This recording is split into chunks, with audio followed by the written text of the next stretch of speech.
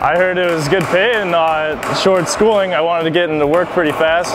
And so then I heard uh, a buddy of mine referred me to the lineman and I looked for the best school and I came up with M State.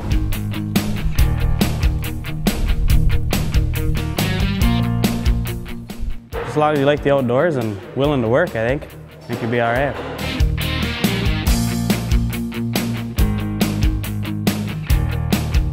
I think you're gonna have to dig out the stuff that's around it in the bottom. The school is awesome because it's it's a small amount of guys. Small amount of guys.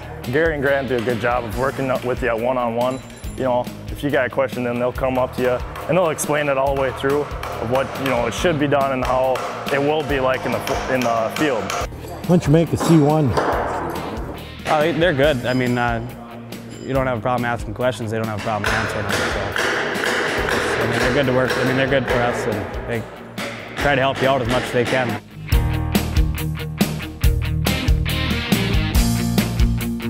Ended up getting laid off, and uh, TAA Act from Minnesota ended up paying for our schooling.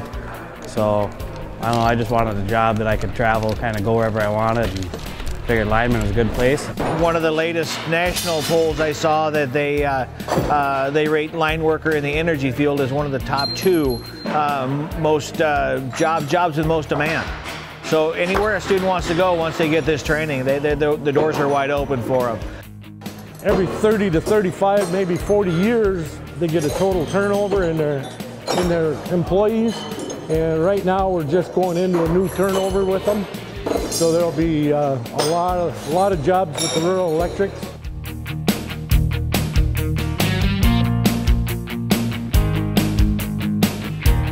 I originally didn't even know where Baudette was, but then I heard it was way up north where it was good hunting and fishing, so I figured give it a try instead of waiting a whole year. Lake of the Woods has the best ice fishing around. We come down here from the falls all the time.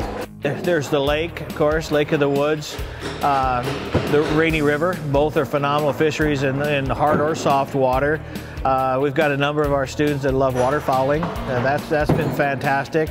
Uh, come deer season, there'll be guys out in the stands around the area also. Snowmobiling, four-wheeling, I mean, it's here for all.